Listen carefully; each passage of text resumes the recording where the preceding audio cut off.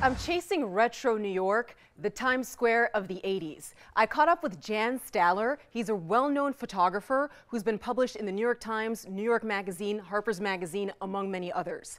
I caught up with him in his West Village studio on Charles Street. When I was speaking to Jan, he took me back to his, to his younger days when he was already a full fledged photographer, but just in his 20s. At the time, his expertise and his passion was actually taking photos of the New York City urban landscape.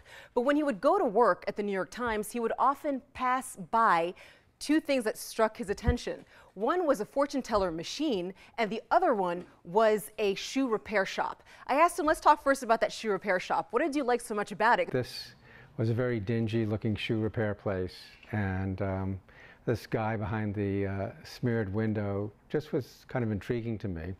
And uh, so I went to photograph that. Then I asked him about that fortune teller machine. I have never seen one. Uh, born in New York, never seen one of these in Times Square. This fortune telling machine was near the top of the stairs of the 42nd Street subway sta station near the 8th Avenue side. While he was taking pictures of this fortune teller machine, two young men who were very intimidating approached him. These two characters demanded that I take their picture. And uh, it's a, it's a bit thre threatening for me, a kid from Long Island. I was just in my 20s.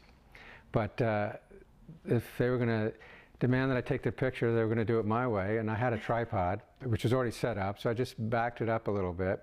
And uh, I said to the fellow on the left, um, listen, I want to show your colors. Can you take off your jacket?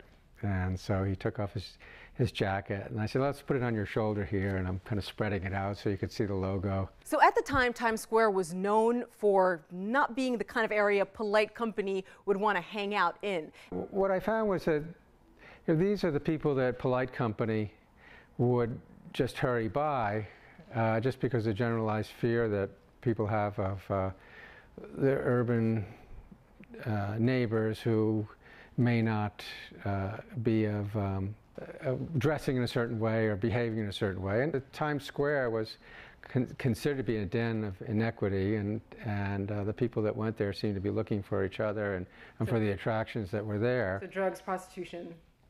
Possibly. but I found it all. You, you didn't see any of that. No.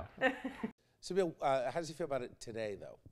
Like it's so different now. I mean, I go back. We talk about this all the time about how Rudy came in as mayor and really changed the whole thing. All of a sudden, you're arresting jaywalkers, and you have the, whole climate changed, and it became a really family-friendly place, Times Square. How does he feel about it now? Oh, he loves Times Square. I mean, he loves yeah. New York. He still lives in New York. Um, he loves Times Square back then, but obviously Times Square back in the 70s when it had that bad reputation, he was able to bring out the beauty in it.